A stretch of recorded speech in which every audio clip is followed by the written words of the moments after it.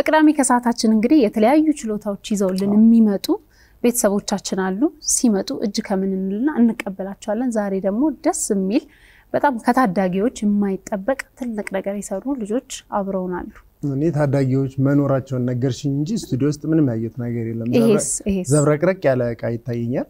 ምን ይመስልሃል? ሲገምት እንግዲህ ይመጣሉ ይመጣሉ በቃ እንደዚህ ከሆነ ቴክኖሎጂ ዝም ብሎ ሳይታይ ነው ቀስ እያለ የሚገባው። አዎ። እየገቡ ነው። Wow.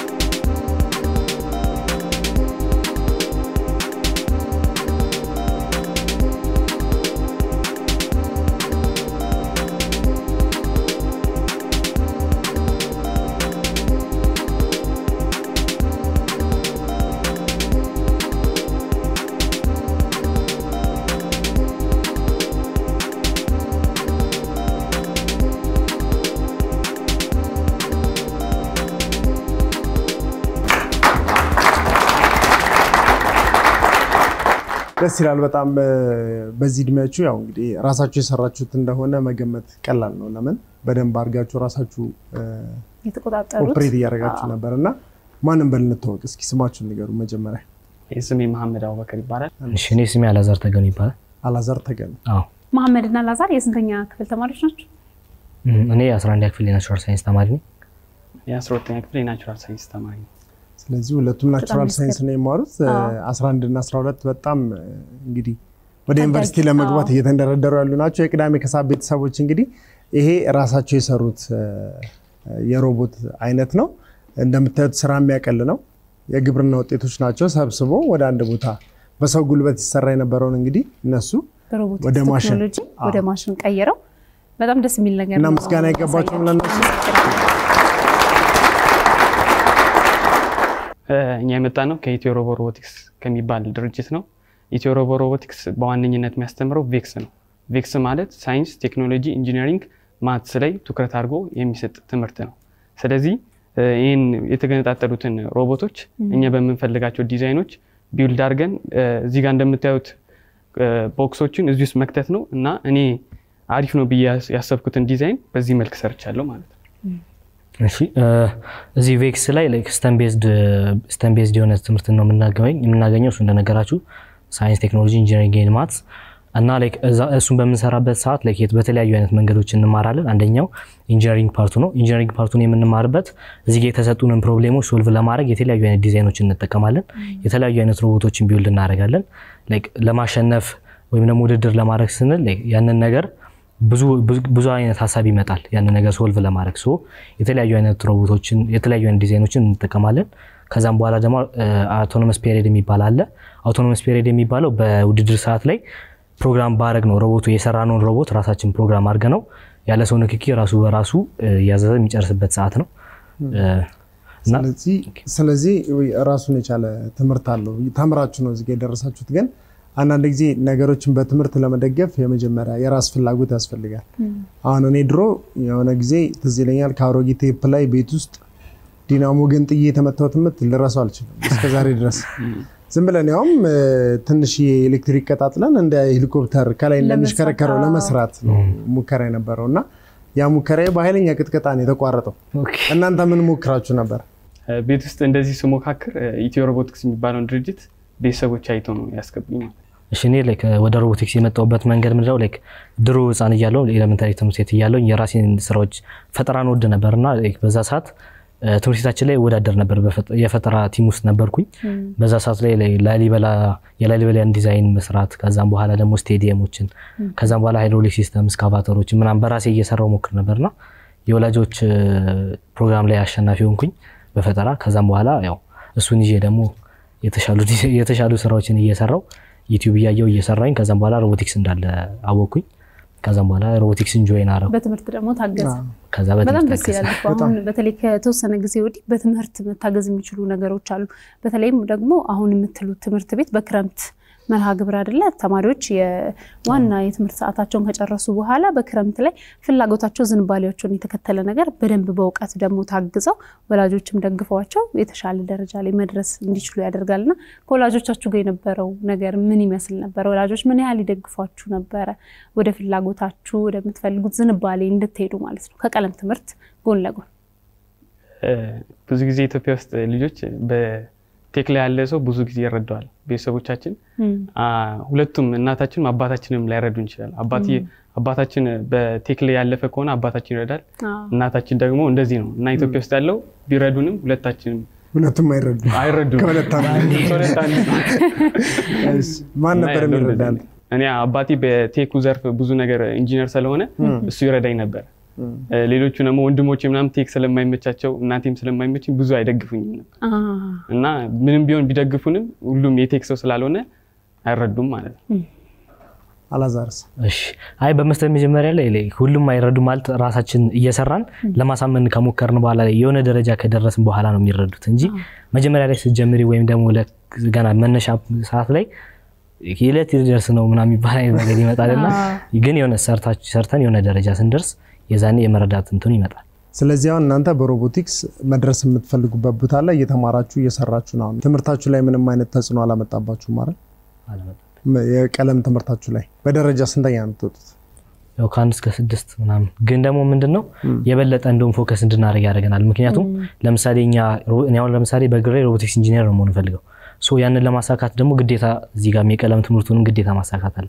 so ይሄኛውን ብቻ ብንሰራ የቀለም ትምህርቱ ጋር ሌላ ተቀባይነት አይኖረንም። so ያንን ፍላጎታችን ለማሳካት ስንል ደግሞ እዚህ ጋር ያለውንም ነገር በደንብ እንጠነክርበት።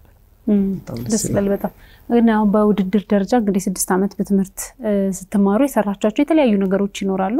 በውድድር ደረጃ ግን ራሳችሁን ግላችሁን የሰራችኋቸውን ስራዎች ወክላችሁ የት የት ተወዳድራችኋል? ምን አይነት ውድድር ላይ ተሳትፋችኋል? ብዙ አስተማሪዎቻችን እኔ አይነ ስውር ነበረ። አስረኛ ክፍል የምታስተምረኝ አስተማሪ ሂስትሪ ቸሪ አይነ ስውር ነበረች። አማርኛ ቸሪ አይነ ስውር ነበረች እና ይህን ነገር ሶልቭ ለማድረግ በምንችላለሁ ብዬ አስራ አንድ ክፍል ስገባ የአይነ ስውር ስማርት ስቲክ ሰርች ነበር ከመጋጨቱ በፊት የሚናገር እና አሁን ደግሞ አስተካክየው በዚህ ዓመት ለአስተማሪዎች ለሃይስኩል ላይፌ ላይ የማረሰውን ለማድረግ ለእነሱ ልሰጣቸው ነው ማለት ነው።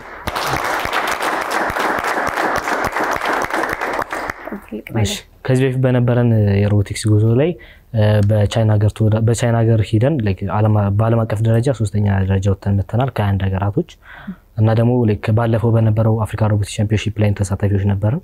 Africa Robotics Championship በየዓመቱ የሚደረግ የኢትዮ ሮቦቲክስ እና ኢኖቬሽን ሚኒስቴር የሚያዘጋጀው ዝግጅት ነው እና እዛ ተምረን ሮቦቲክስ ውስጥ ተምረን ያዘጋጀናቸውን ሮቦቶች ለዓለም አቀፍ ብቁ ለማድረግ እዚህ Africa Robotics Championship ላይ ውድድር እናደርጋለን። ባለፈው በነበረው Africa Robot Championship ላይ ያው excellent ተማሪ ሶስተኛ ወጥታችኋል።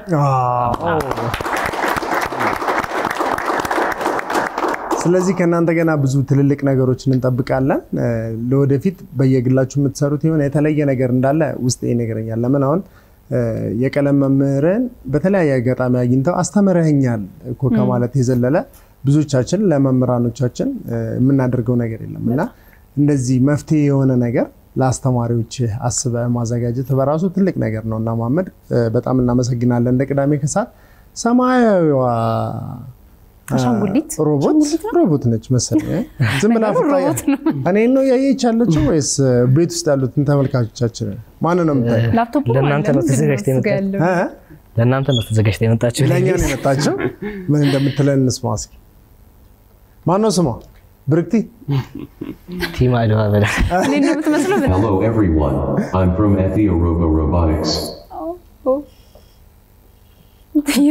እየቃኘች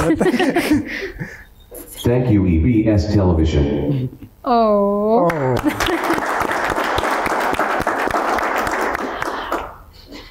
መልእክትን ይዛ የመጣችው መልእክትን ይዛ ኢቢኤስ ልታመሰግን ነው። እኛም እናንተም በጣም ነው የምናመሰግናችሁ።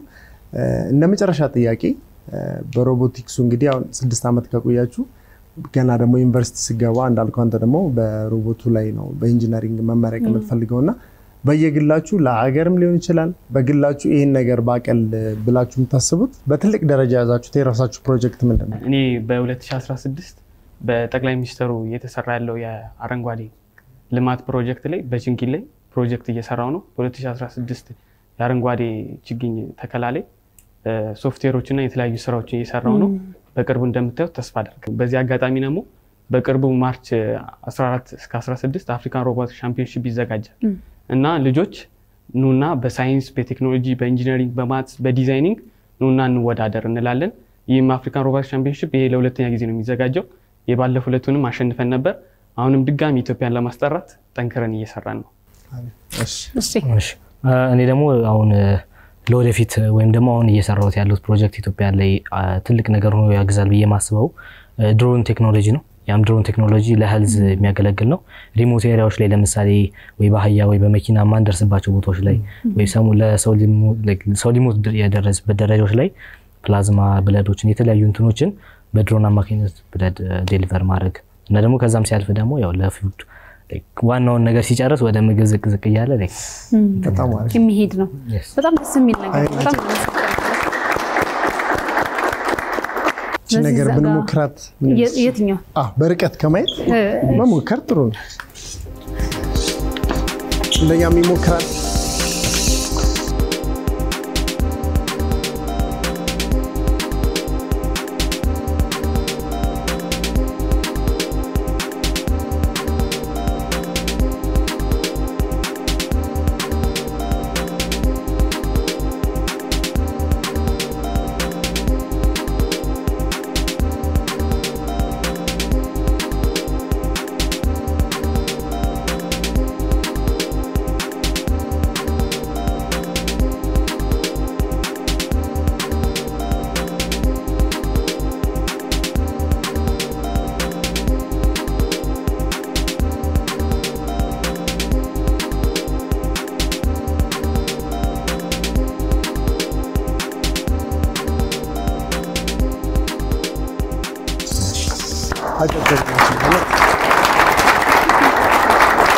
በጣም በጣም አመሰግናለሁ።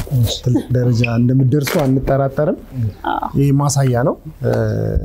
የትልቅ ነገር መጀመሪያ ትንሽ ነው እና ባላችሁ ነገር ራሳችሁ ይህን ነገር ገጣጥማችሁ መፍትሄ ሊሆን የሚችል ነገር ነው። ይሄ በራሱ ለምን አብዛኛው ሰው ከተማ ላይ ያለ ሰውም ምግብ የሚያገኘው ክፍለ ሀገር ላይ ከሚመረቱ ምርቶች ላይ ነው እና ምርቶችን ሲሰበስቡ የሚያዩትን ችግር የሚያዩትን መከራ ሁላችንም እናውቀዋለን እና ያን ነገር የሚያቀል ነገር ነው። አንደኛው ይሄ በትልልቅ በትልቅ ደረጃ በፋብሪካ ደረጃ ሲሰራ የሀገራችንን ችግር ሊቀርፉ የሚችሉ በጣም ብዙ ነገሮችን እየሰራችሁ ነው እና በዚህ እድሜያችሁ ይህን ከሰራችሁ ወደፊት ደግሞ ልትሰሩ ያሰባችሁትን በጣም ትልቅ ስራ እንዲሳካላችሁ መልካም ምኞታችን ነው ካሁኑ በቅዳሜ ከሰዓት እንደዚሁም ደግሞ በስነ ምግባርም በግብረ ገብነትም ደግሞ እንደዚሁ ከቤተሰብ ካስተዳደግ ጋር ያላችሁን ነገርም በዚሁ አይተናል እና በጣም ልናመሰግናችሁ እንወዳለን። በዚህ እድሜያችሁ ችግር ለመቅረፍ መፍትሄ የሚሆኑ ነገሮችን ይዛችሁ ስለመጣችሁ በጣም እናመሰግናለን። እንዳናንተ አይነት ደግሞ ብዙዎች ይበርቱልን እንላለን። እንደዚሁ በቅዳሜ ከሰዓት የተለያየ ችሎታ የተለያየ የሰራችሁት የፈጠራ ስራ ካላችሁ እየመጣችሁ እንደዚህ ስራችሁን አሳዩን፣ እናበረታችኋለን፣ እናጠነክራችኋለን እንላችኋለን። ዛሬ እንግዲህ መሐመድና አላዛር አብረውን ነው ያሳለፉት። እዚህ ጋር ደግሞ መልእክት ይዛ የመጣች አንድ ሮቦት ነበረቻቸው። መልእክቱንም ተቀብለናል። ሁላችሁንም በጣም እናመሰግናለን። የቅዳሜ ከሰዓት ቤተሰቦች፣ እናንተም ደግሞ ያው እነዚህን ታዳጊዎች ስላበረታታችሁልን አብራችሁን ስለነበራችሁ ደስ ብሎናል። ሌሎች የቅዳሜን ከሰዓት ፕሮግራሞች ይቀጥላሉ። አብራችሁን ቆዩ።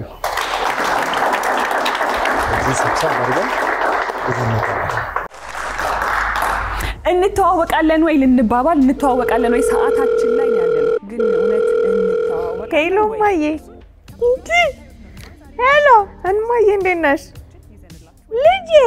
ሰላም ነው እናቴ። ዋትሳፕ ዋትሳፕ፣ ጉድ ጉድ። ደህና ነሽ እንዴ? አለሁልሽ እማዬ፣ ሰላም ነው። አቤት አቤት አቤት። አሜሪካ እኮ ነው ያለሁት። እንዴት ነው አሜሪካ? ይኸውልሽ አሁን በዕለተ ሰንበት እሑድን በኢቢኤስ እነዚህ ማን ናቸው ባልና ሚስቶች የሚጠያየቁበት እንተዋወቃለን? እማዬ። ቁጭ ብለን ቡናችን አቃርበን ቤት ያክልልሻል። መቼም ቴሌቪዥኑ እዚህ ያለ ቴሌቪዥን ቤት ያክላል። በምንድን ነው የምታዩ?